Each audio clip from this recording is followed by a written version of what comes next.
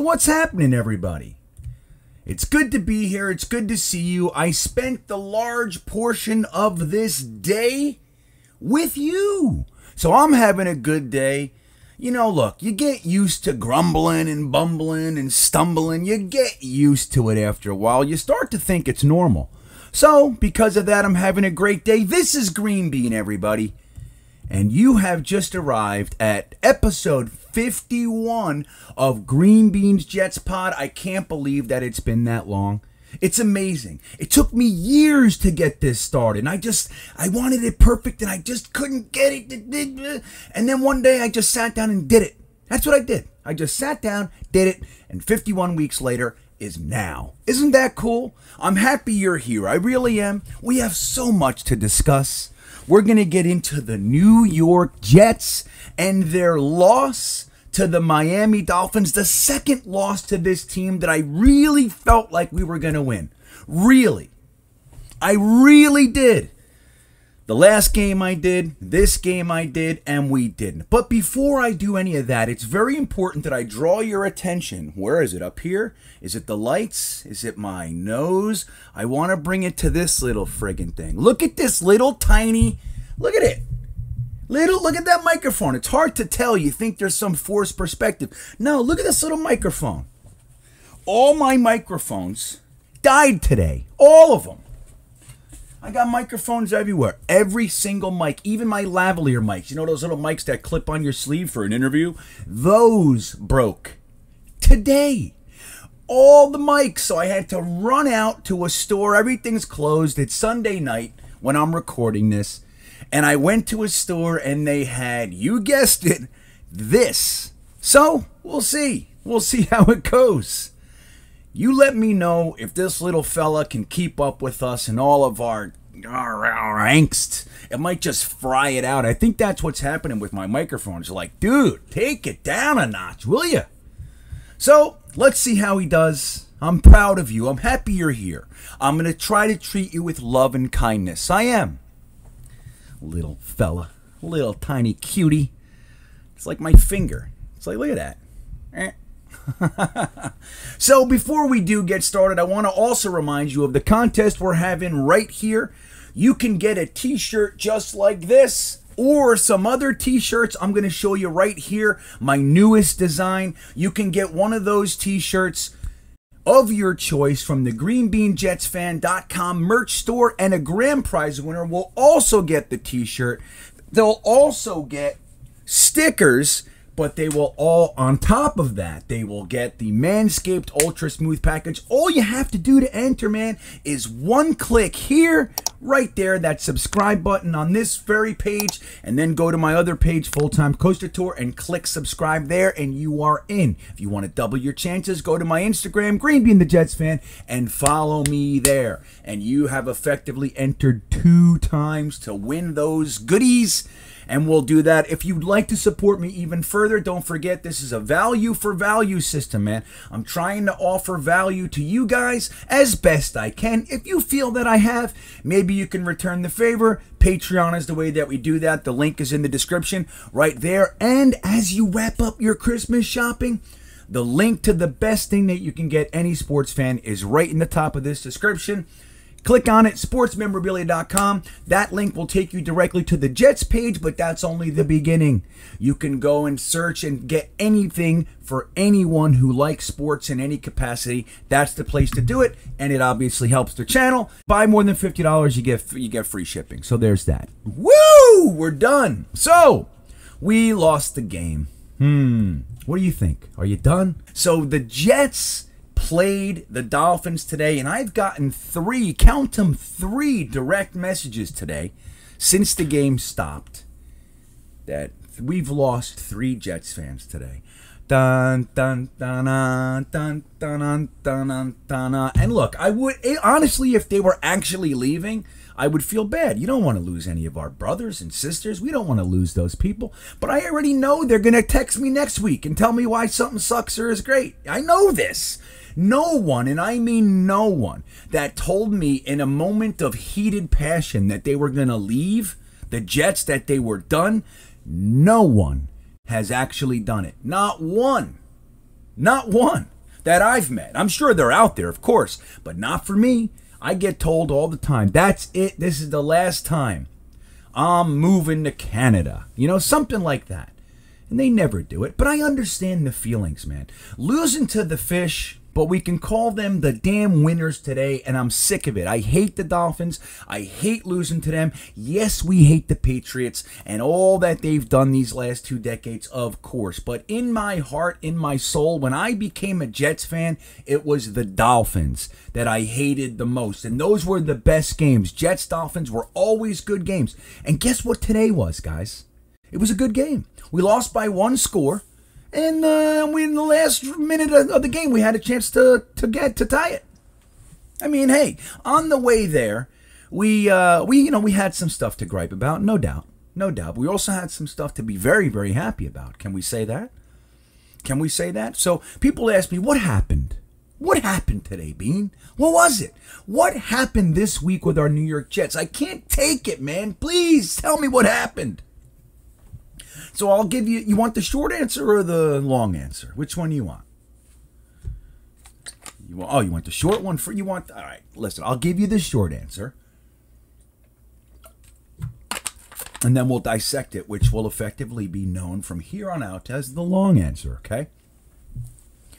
The short answer is this: when you ask what happened today, what happened today was we had a, a very young staff and young batch of players. We got a whole influx of of young players back. We got Michael Carter the first, Michael Carter the second, Brandon Echols, Bryce Huff. Then we even got Tyler Kroft back. So many guys. We got an influx. Tevin Coleman came back.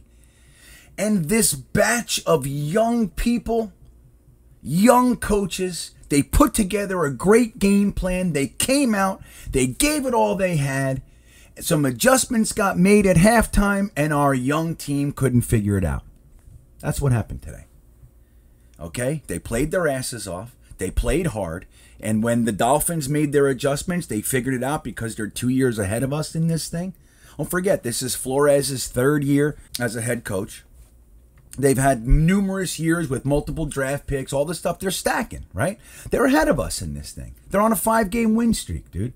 They came into this game on a five game win streak. We came in this game on the worst game of Zach Wilson's career, uh, arguably. So that's what happened. We came out, we played hard, we looked great, we couldn't make adjustments and and compensate for their adjustments to us, and we lost. That's the short answer. Okay? sounds so simple, doesn't it? It's that's what happened. That's what happened today. Now there's all sorts of intricacies that we could discuss, and we will. Let's start with Zach Wilson. Let's start with our our blonde dynamo, our good-looking stud muffin, Zach Wilson, the young quarterback at a BYU from Salt Lake City. He comes here to save us. Even though Salah said, "Hey, buddy, we're not expecting you to save us. We're going to save you. Actually, the word was lift, I think he said. We're not expecting you to lift us. We're going to lift you. Let me give you his stat numbers. So, Zach Wilson went 13 for 22 for 170 yards, zero touchdowns, and zero interceptions. Now, a little misleading because he ran in a touchdown and he had a fumble. So he did have a TD and he did have a turnover, but those, you know, that straight up stat line uh, the box score, let's call it. The box score doesn't show that stuff, but we know. We know the difference. So he did run in a touchdown and he did fumble. So uh, all those things should be represented. Now, what do we think of that? He only connected on 13 passes today. So does that is that bad? Did he look bad? Does he suck? Well, I would argue no.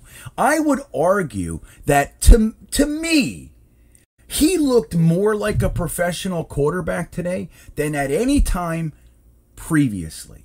That's what I'm going to tell you. To me, I thought he came out calm, poised. I thought he was laser precise, surgical even. And you know what's really sad? On two passes that ended up being drops, they may have been his best passes of the day. Threading the needle, zoom, right in there to his receiver's hands. Dropped. Two of them. Could have changed the day. I don't know. You know what I'm saying? So that has been happening to poor Zach Wilson throughout this young career of his. And now look, in the second half, he came out, he looked a little flustered. They changed their game plan. They went to man, they went tight. Okay, they took away the underneath stuff. They did not respect what we were doing deep. And why would they? We don't have Elijah Moore. We don't have our Corey Davis guy out there. You know what I mean? We have Berrios. We have Mims, where I don't know what the hell is going on with that guy. They threw the ball at him one time today. I didn't look at it again. I watched the whole first half again. I did not watch the second half again. Um, but it looked like it was very high. But from my first look, it looked like he should have caught it to me. And I don't know what's happening with that fellow. But anyway, they didn't respect our deep our deep game. So they took away the underneath, which basically killed what we were doing in the first half. Now, that first half though, didn't Zach look good? Didn't he show you a few things? Like I said, laser accurate, surgical at times. And damned if I don't tell you that that guy has elite escapability. Elite escapability. When they went in for the half and they came back, I got to tell you, I was talking with O'Leary and Ryan and everybody, and I even said, I fully expect this to continue. He looked so good to me that I thought there was no way, even with some downturns, may you know would come you know a couple three and outs. I still there was no way I thought that that would die as abruptly as it did, but it did.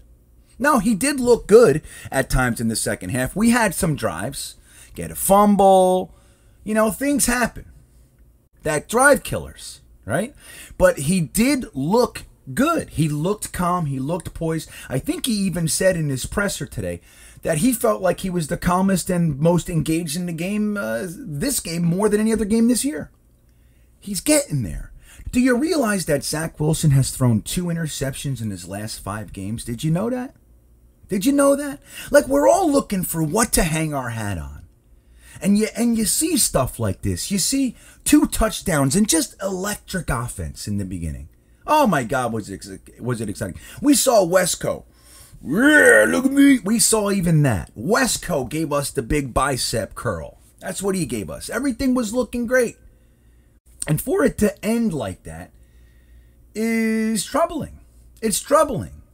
But the thing is, guys, is like you got to remember, we're looking for progress. We're looking for reasons to have hope. We're looking for building blocks, foundational pieces. We're looking for advancement of the game plan, of the overall plan. That's what we're looking for. Did you not see that today with Zach Wilson? It's like, you know, remember a couple weeks ago when we beat the Texans? And we didn't win it right. Remember? Everybody was mad that it just didn't look good. 18 unanswered points in the second half. And it wasn't good. I don't like it. Yeah, I know we won, but that's below. And it's the Texans. How how great are they? Come on, what are we talking about? It's the Texans. And then we played the Eagles, and Zach Wilson comes out and he throws three first half touchdowns. His first opening drive touchdown of the entire season. And what does everybody talk about? Do you remember? Think about it real quick. We we talked very little about those three those three touchdowns. We talked about one thing. The second half pick the one interception that he threw. Now, it was an ill timed interception. We didn't need it. You know what I'm saying? It was bad. But why is the three why are the three touchdowns outweighed by the one pick? Especially in a year like this when we're trying to look for progress.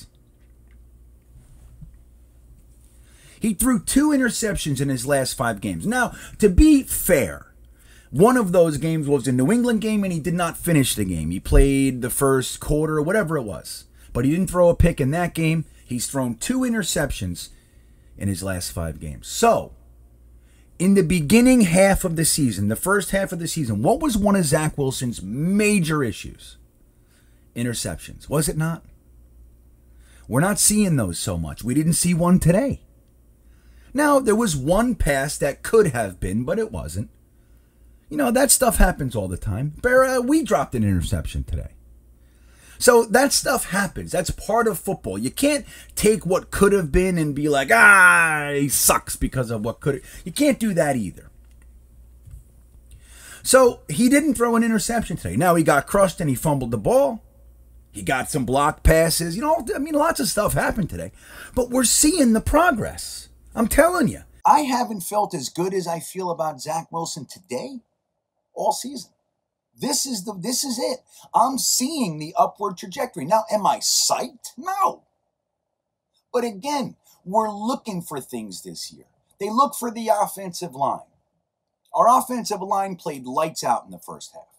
Okay. I think he had one sack, and I believe, if I remember correctly, it was a little hold the ball too long kind of a thing. It's okay. The offensive line played lights out. Do you remember what the offensive line was made of today? We had Conor McDermott, who, by the way, is our third tackle playing. Becton obviously has not played all year. Uh, George Fant, who's been slam dunk free agent signing. Okay. He's been great. He's out. So Conor McDermott comes in. He plays a fantastic first half.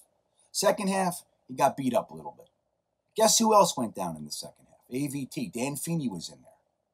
Now, Morgan Moses, who's had, I would say, Morgan Moses has had a positive year, but not a great year. He has some clams, and today was one of those days. He got beat a couple times that I saw. Now, I don't know the official numbers and all that sort of stuff, but Morgan Moses, in my opinion, unless it's a cheap deal and a competition kind of thing, Morgan Moses might not be back. All right, he's obviously on that one year contract. We know that, but he's a good player, man. He's consistent. He doesn't get hurt, you know, knock on wood, all that sort of stuff. So, you know, the best ability is availability, right? We'll, and we'll hold that here. But he has games like today where he does give up a few big, a few big clams right? So, and that happened. So Morgan Moses, like, okay, look, you want to extend for a year, 3.5 million, and we bring somebody in and they compete with you, kind of a thing, great. But not just to be penciled in as the starter, I would say. I don't know.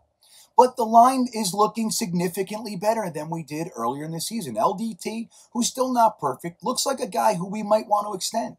Right? So there's all kinds of stuff going on. But that's what I'm saying. Don't forget what happened in the second half. I mean, I saw some tweets today. They said our offensive line is garbage. I don't know. I don't. I don't. I don't feel the same way. I don't feel the same way.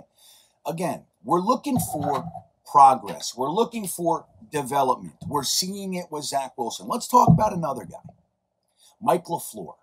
Mike LaFleur. Mike LaFleur. Another young guy, another rookie who came out today and had a game plan that was worthy of remembrance. When's the last time we saw something that resembled a hook and ladder? When? That happened today. All sorts of creative plays, all sorts. Now, on the attempted touchdown to Zach Wilson from Keelan Cole, that's the kind of play that should have been Jamison Crowder. That's our guy. Why is Keelan Cole throwing his first pass of the year? I, I don't know. You know what I mean? I don't know. Jamison Crowder's there. He's got a great arm. He's thrown numerous touchdowns in his in his career. Let him throw it. Keelan Cole almost threw a pick, hit the defensive lineman in the back. Zach was open. If he just lasered it in there, that was a touchdown. Instead, we got a field goal and the whole thing. So again, all sorts of all sorts of maybes and almost and stuff like that. But it was there. Mike LaFleur called a fantastic first half. One of the best that I've seen for the Jets in a long time. What happened? Miami made adjustments. Mike LaFleur is not there yet. He can't figure it out yet. He's not able to, on the fly, change and adjust and do. He's just, we've seen it numerous times this year. When the adjustments are made, more times than not, he doesn't know how to compensate for that. He's going to get it. Clearly, you can see that this is a talented offensive mind. Am I wrong? Again, he couldn't do it. He can't finish the game. This is the stuff that you expect. This is the stuff that I expected from the beginning. Lots of sloppiness, lots of almosts, lots of missed swings, man. And that's what we're seeing. Zach Wilson, Mike LaFleur. What about our running backs? We got Tevin Coleman, we got Michael Carter back. Dude, both of those guys look great. Now, I do not understand why they force feed Austin Walter in there. I don't get it. Every rep by another running back, takes away potential to get in the groove for one of the other guys that are clearly better. I'm, I'm not listening to arguments otherwise. I'm not. Tevin Coleman and Michael Carter are better running backs than Austin Walter. I don't know why he's in. I don't get it. This is a solid guy. That's the only thing. He's one of two people that came over from San Francisco, and they haven't learned that that has no friggin' value. To them, it does. For example, Michael Carter had eight carries today. He only got 18 yards, so he had a paltry 2.3 yards per carry, but he was better than that. You see that if you give this guy the ball 15, 20 times, he has the ability to make something out of nothing at any given time. But no, we take some of those away for Austin Walter. Now, I'm not trying to say Austin Walter had, you know, more carries or anything like that. He only had two. But Michael Carter's a good blocker in pass protection, as is Tevin Coleman. And we don't give these guys enough to get them going. They get a good play and they're out. They put him in bad situations. So this is the stuff that I fully expect Mike LaFleur, Mike LaFleur to learn from. Tevin Coleman had eight rushes for 50 yards, a 6.3 yard average. Looked good today. Michael Carter had eight for 18. Austin Walter had two for 12. He had a six yard average. Again, looks good, doesn't it, on paper? All I see is two carries that Michael Carter didn't get. That's what I'm saying. Austin Walter, to me, uh, I don't get it. Zach Wilson had four rushes for 12 yards as well.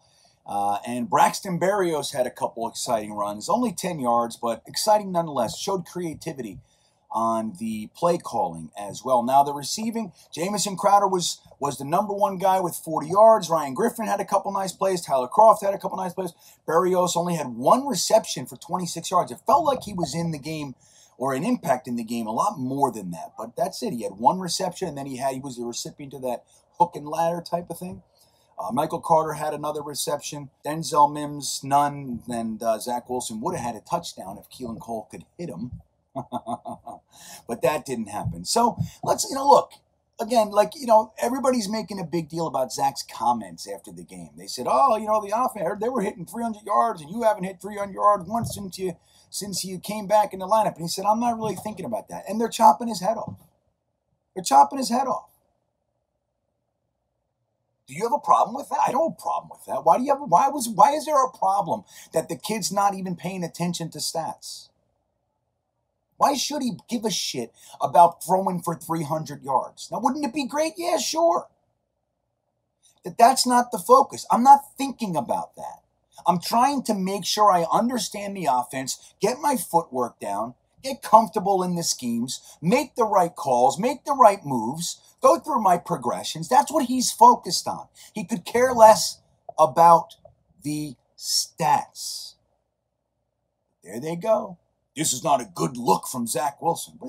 Trying so hard to take a young guy who has literally taken accountability for every single thing that's happened this year not one time has he said it's somebody else's fault. Not once. And that's even in the face of other people saying that maybe he could do things differently. GVR. Never, not once. He's taken accountability for everything. You ask him about stats and he says, I don't give a damn. That's a problem? I don't see the problem. And I need you to understand that it's not a problem. It's not. The fact that Zach Wilson doesn't care if he throws for 300 or 10 yards, he wants to learn the offense. That's what this year is. We should be happy about that.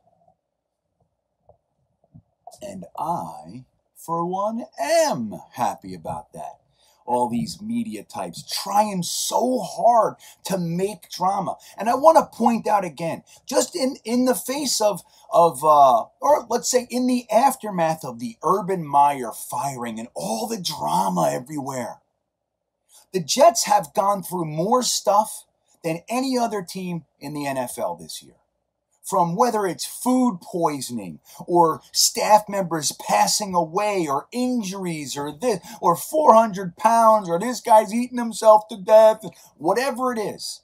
The onslaught by media sources to try desperately to make something happen. Salah's contractor, the losses, the complete ineptitude at times, the Mike F. and White stuff. This team has stayed together the whole time. Not a single fracture. And that is what we're trying to focus on, guys. That's what character is. That's what they're talking about with drafting the right guys. That's what they're talking about. And that's what we're seeing. These guys are getting it. They look better and better every single week. Every single week, we're seeing progress. Now, they can't maybe finish it. Losing by one score, having the ball with a minute left, trying to go down there and tie it is not a problem. It's exactly the type of game I expected to lose. Now, the fact that we were leading and all that, I get it. I get it. It's not optimal the way that it happens, but that's the truth of the game. Now, the defense, let me just say this about the defense. Lots of hard playing. Bryce Hall, lots of great plays. Brandon Echols, good, bad. Michael Carter, good, bad. Ashtyn Davis, another pick. He's got two. Brandon Echols with the with the pick for a touchdown. It's great. Don't forget, man. This defense went what nine weeks without a pick, whatever it was. Ashtyn Davis has two. Brandon, we had two today. There are positives, guys. There are things to hang our hat on. Now, if they could learn to tackle, we got something. But whenever we have these discussions from here on out, moving forward, about where we should use our premium draft capital, and guys like myself say defense, and you or whoever else says, no, no, no, we need a receiver, we needed this, we needed that, just going to point to today.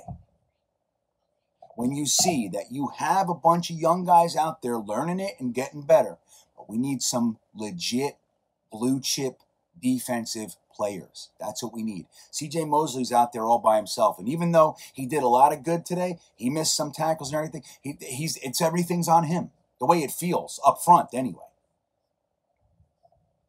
So when we talk about how to use our two first round picks, now look, if we drafted a center or if we drafted a guard or we draft, I'm not going to complain if it's the best player on the board and all that jazz. But I'm just using this to support the logic that, nah, man, I think maybe taking a blue chip edge and maybe Kyle Hamilton or maybe Sauce Gardner, or somebody like that, I think it makes a lot of sense. I think it makes a lot of sense to get some blue chip talent on the defense. Yes, guys like Hall and Echols and Michael Carter, they're great. Bryce Huff, yeah, totally. Great. We need some blue chip on that defense to make those guys' games get elevated. That's what we need. So, yeah, man, the tackling was a big problem today. How many missed tackles? How many missed tackles? I saw something today. I don't know if it was real or not, but we have, I think we might be breaking some records with missed tackles this year. It's incredible. I don't know if that's real or not, but that's a problem. Then the schemes are still bothering the hell out of me. But we got young guys learning the system. They're getting their year. They're getting their lumps. They're taking it on the chin. And that's what you want. You want this year. What? How many? What if this year was Trumaine Johnson and all these guys just running around that you know you're going to cut next year? Man, am I excited for this team! I think Salah, LaFleur, and the rest of the boys got these guys playing hard. Again, I want to point out that the offensive line, dude, we're on our third tackle. Okay, we were on our second guard today. Like, there's depth on this team. It needs time to be supported, to be to you know to be implemented. All the systems, all the players. We need guys here for a minute.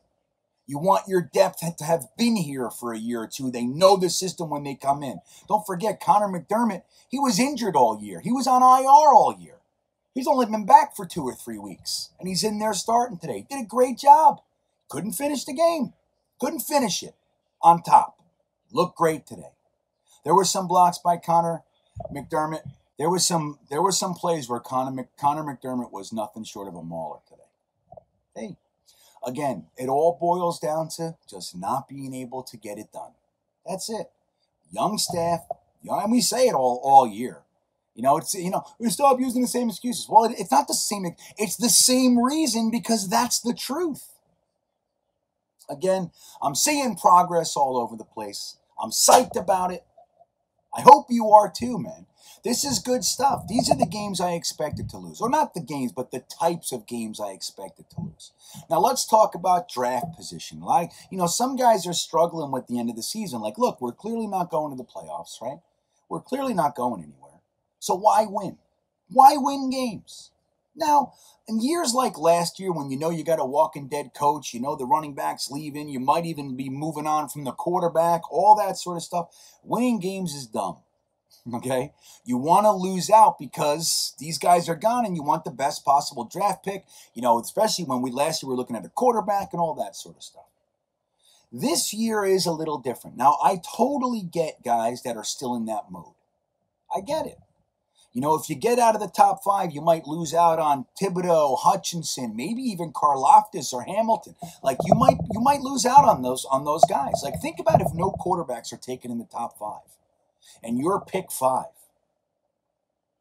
and it goes Thibodeaux, Hutchinson, Hamilton, Karlaftis. You lost the top three pass rushers, the only real blue chip pass rushers in the draft. Yes, you have Ojabo and a couple of others that are good, but they're not really considered the same level as those three elite guys. And then you have the best safety to come out in, I don't know, 10, 20 years. They're all gone because you slipped out of the top five. So I get it. I get it. But what's worth more? These guys that we have, now don't forget, man, there are core guys on this team. Guys like Zach Wilson, guys like Elijah Vera-Tucker, like Michael Carter, Michael Carter II, Brandon Echols, Bryce Hall. These guys need to start seeing and believing that, hey, man, we're closer than you think.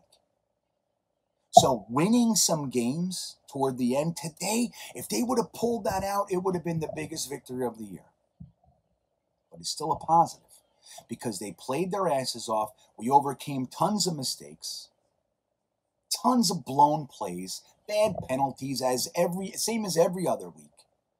The Bryce Hall pass interference, the the pass went into the first, it went into the crowd. How do you call a pass interference on a, on a, on a pass that's 20 friggin' yards over his head? I, I don't know. But I guess that's not a rule anymore. I don't know. So there's all kinds of adversity, all kinds of reasons to meh. There's all kinds of reasons for that. But if they start to put things together, wrapping up the season, ending it on that positive note, these guys are going to be here a minute. All of them. The whole batch of these young guys are going to be here for a little while.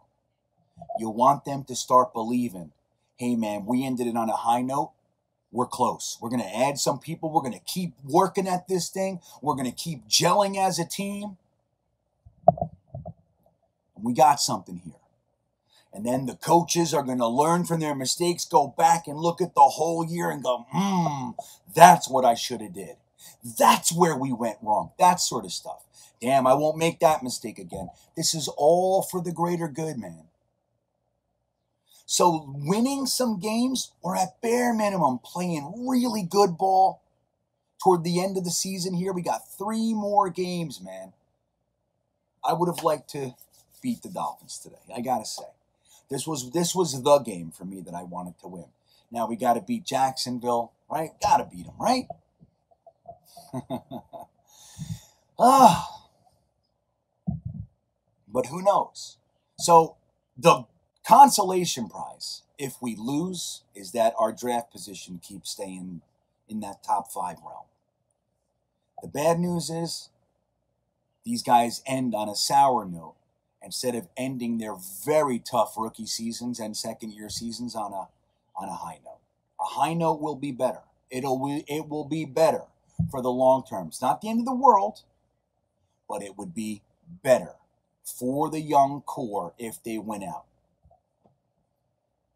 Seattle, they moved the Seattle game to Tuesday, so we don't know what that's all about. But one thing I will tell you is the Carolina Panthers just snuck in to between us and the Giants with pick six. How crazy is that? That means that we have the sixth overall second round pick from them. So if think about it, if we have, let's say we have the top, the fourth pick, in the first round. Seattle gives us the seventh pick. So we have the four, the fourth and seventh pick in the first. Then we have the fourth and sixth pick in the second because of Carolina. It's not a bad deal, man. It's not a bad gig with these Joe Douglas trades. The NFL draft order looks like this as of this week. The Jaguars, two years in a row, have stolen the first overall pick from the truly deserving team. Last year it was us. This year it's the Detroit Lions that they're going to get shifty up there and start winning some games to wrap it up. They're going to lose out on having any pick that they could have wanted in the draft. Right now, they're at number two.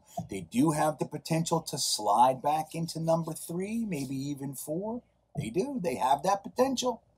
The Jets are at number four. So it goes Jacksonville this week, the Detroit Lions, the Houston Texans, who beat the Jaguars today, the New York Jets, the New York Giants, the New York Giants via the Chicago pick,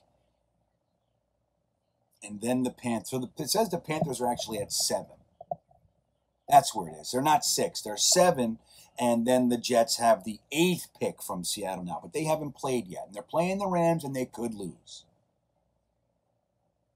That could push them above the Panthers. It could. That could push them up to to to seven. So and then the rest of it is uh, the the Falcons at nine and the Philadelphia Eagles at ten. So that's the top 10 right there. Jets are currently at 4 and 8.